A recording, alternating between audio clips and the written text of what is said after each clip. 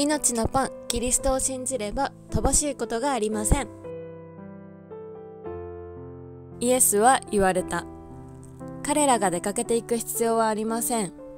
あなた方であの人たちに何か食べるものをあげなさい。しかし、弟子たちはイエスに言った。ここにはパンが5つと魚が2匹より他ありません。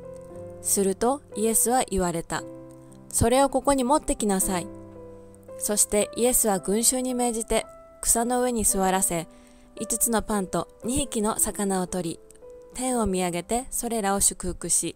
パンを裂いてそれを弟子たちに与えられたので、弟子たちは群衆に配った。人々は皆食べて満腹した。そしてパン切れの余りを取り集めると、12のカゴにいっぱいあった食べ物は、女と子供を除いて男5000人ほどであった。マタイの福音書14章16節から21節の御言葉です。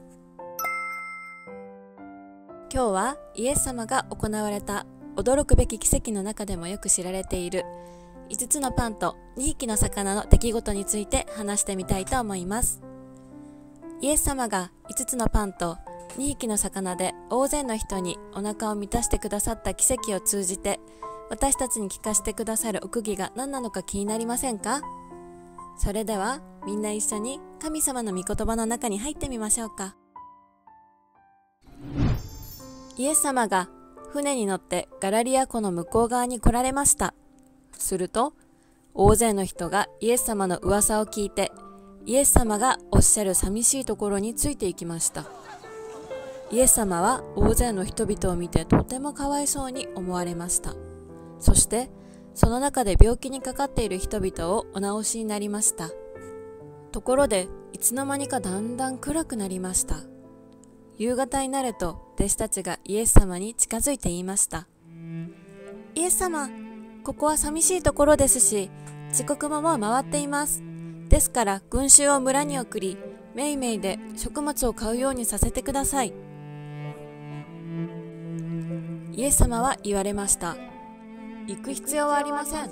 あなた方であの人たちに何か食べ物をあげなさい。このようにおっしゃったイエス様は弟子たちの考えを信仰に変えてあげたかったのでしょう。しかしイエス様の答えを聞いて驚いた弟子たちは集まって計算し始めました。すると頭の回転が速いイエス様の弟子のピリポが言いました。メイメイが少しずつドルにしても200デナリのパンでは足りないのに本当に困ったなその時ある子供が母親が作ってくれた5つのパンと2匹の魚が入ったお弁当を少しもためらうことなく差し出しながら言いました。私のお弁当を差し上げてもいいですか？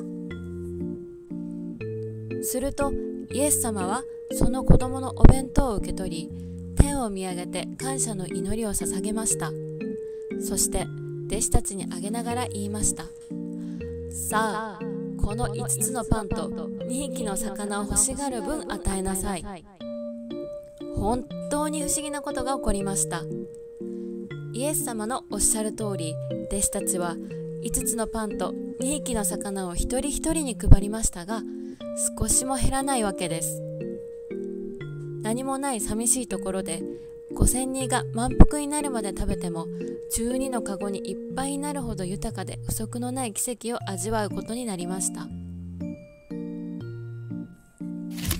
それでは何もない寂しいところで5つのパンと2匹の魚の奇跡を行われたイエス様は一体何者ですか？ヨハネの福音書1章1節から3節を見ると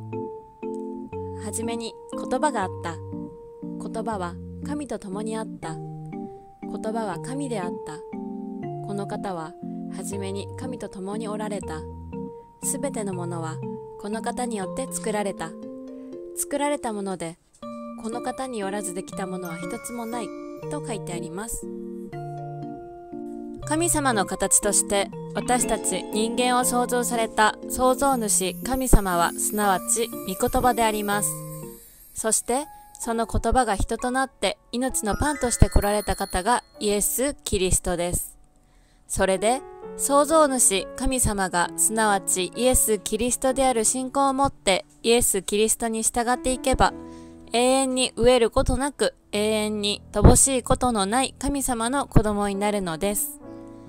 それではなぜイエス様が私にキリストとして来なければならなかったのですか？創造以前に神様に敵対してこの地に落ちたもの、古い蛇、すなわち悪魔であり、サタンとも呼ばれる全世界を惑わす者がこの地に投げ落とされました。この存在がまさに漱石一章二節。創造以前の闇と虚しさと混沌の実態です。結局漱石三章に出現したサタンはアダムとエヴァを嘘で誘惑して神様から離れるようにし罪の中に陥るようにさせました。それで漱石三章の根本問題に陥った全ての人間は私たちの霊を奪い殺し滅亡させるサタンの霊にとらわれたまま一生サタンのしもべ暮らしをする運命として生きるしかありません。しかし神様は私たちを最後まで愛していますそれで神様は私たちを漱石三章から脱出させるためにそして悪魔の子供になった私たちの身分を変えてくださるために漱石三章15節女の子孫イエス・キリストが来られてサタンの頭を打ち壊すという原始福音をくださいました。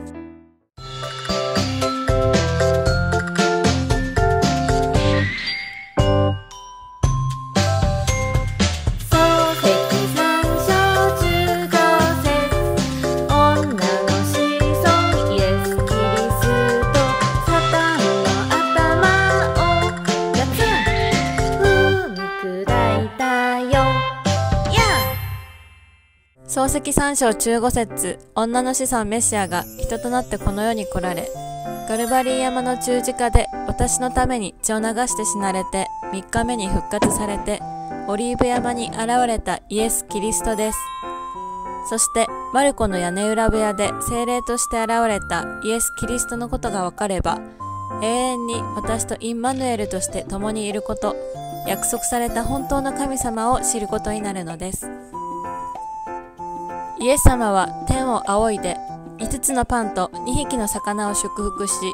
弟子たちに渡しながら人々に配るようにした時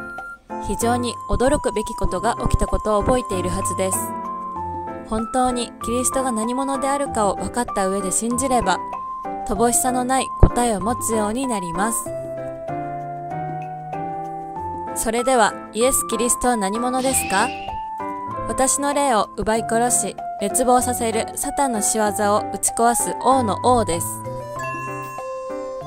人間のすべての呪いと災いを防ぎ解決された誠の再市長です。